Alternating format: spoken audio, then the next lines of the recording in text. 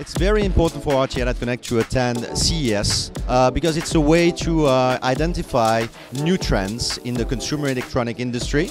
So uh, the opportunity to see all the major brands, but also the new startups. It's also an opportunity for us to network with uh, most of our partners, uh, agencies, advertisers, but also brands. And it's important for us to, uh, you know, to position ourselves on the US market as the gateway to Europe. The most important technologies for this year at CES, I think, is really around TV again. The big TV screen is no longer, you know, an ugly piece of furniture in the middle of the uh, living room, but it's also something of a decoration. So you can use your TV as an, a piece of art. One of the most exciting things is around mobility and uh, vehicles, cars, self-driving cars. You have electric cars, and you know, thanks to 3G or 4G and now 5G uh, technology, all those uh, cars are connected, of course, to the internet. There is this really, really interesting Ballie uh, Samsung robot. It's like a, a, personal butler. The key trends of this year, I would say two words. It's about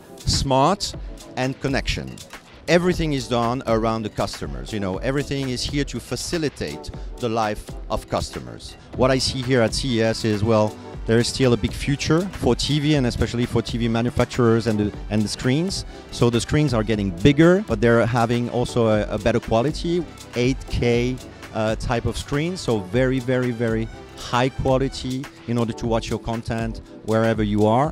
What we see here at CES with the multiplication of screens, of quality of screens, of connected devices, everything is connected to the internet, etc. It's all about content. So people have more and more and easier access to, uh, to content. And that's great for us as a broadcasters or publishers because that's really uh, uh, what is at the core of our DNA.